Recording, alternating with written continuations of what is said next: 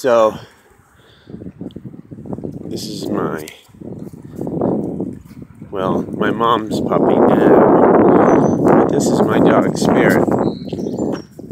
She was my dog for the first six years of her life or so. But she's 10 or 9 now. 9, actually. And lives with my mom. I work too much to just have this dog sitting home all day waiting for me to come home. Uh, she just be, she's better off with my mom and grandma. But uh, I wanted to say something about the idea of a connection with another species. How a domesticated dog or even a wild animal like a bird coming up close to you or a deer coming up close to you and actually making eye contact with you. I think that that is a connection with whatever is here. God or whatever. I think that's the closest you'll get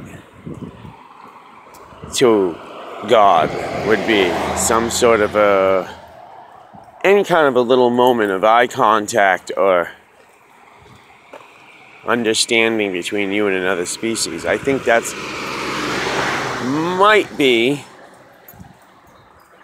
oneness God's way to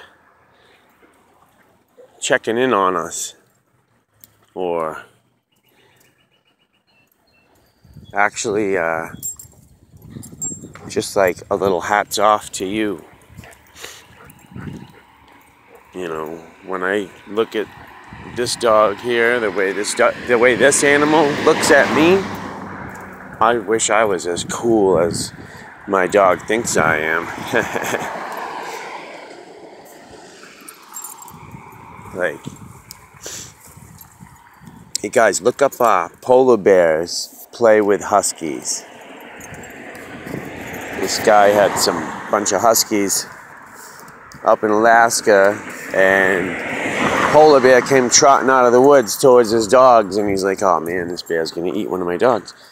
The bear just woke up from hibernation, so you know he's hungry.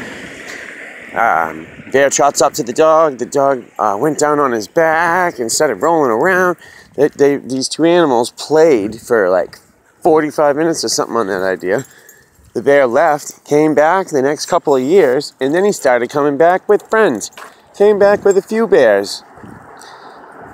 There's like seven of them now, I guess, that come. They have this. They wake up from hibernation and they go play with these dogs.